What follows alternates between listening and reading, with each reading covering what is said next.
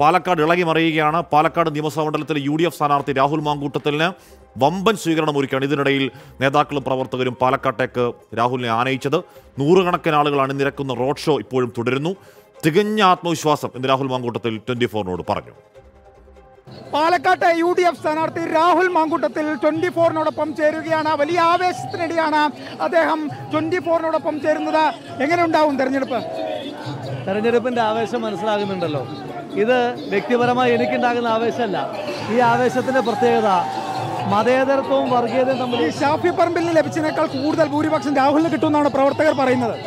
മതേതരത്വവും വർഗീയതയും തമ്മിൽ ഏറ്റുമുട്ടുമ്പോൾ ഇടയ്ക്കിടയ്ക്ക് വർഗീയത വെല്ലുവിളിക്കുമ്പോൾ ഉറപ്പിച്ച് മതേതരത്വം തന്നെയാണ് ജയിക്കുന്നതെന്ന് പറയാനുള്ള ഒരാത്മവിശ്വാസം പാലക്കാട് ജനത ഇത്തവണ കാണിക്കും.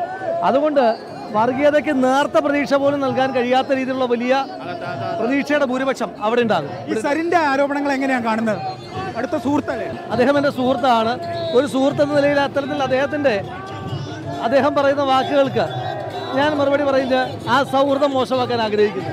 എന്തായാലും തികഞ്ഞ വിജയപ്രതീക്ഷയിലല്ലേ? തീർച്ചയായിട്ടും തീർച്ചയായിട്ടും. അത് ഞാൻ പറഞ്ഞല്ലോ അത് വ്യക്തിപരമായി എന്റെ വിജയപ്രതീക്ഷയല്ല. മതേതരത്വവും വർഗീയതയും തമ്മിൽ ഏറ്റുമുട്ടുമ്പോൾ മതേതരത്വത്തിന്റെ വിജയം എന്തായാലും രാഹുൽ മങ്കുട്ടത്തിലാണ് ട്വന്റി ഫോറിനോടൊപ്പം ചേർന്നത് അദ്ദേഹം തികഞ്ഞ ആത്മവിശ്വാസത്തിലാണ്. വലിയൊരു വിജയം പാലക്കാട് ഉണ്ടാവും എന്ന് പറയുന്നു. സരിൻ അടുത്ത സുഹൃത്താണ്. അദ്ദേഹത്തെ വ്യക്തിപരമായി ആക്രമിക്കാനില്ലെന്നും രാഹുൽ വ്യക്തമാക്കുന്നു. അപ്പോൾ അവിടെ വലിയ ആവേശകരമായ സ്വീകരണമാണ് രാഹുൽ മാങ്കൂട്ടത്തിന് ഒരുക്കിയത്.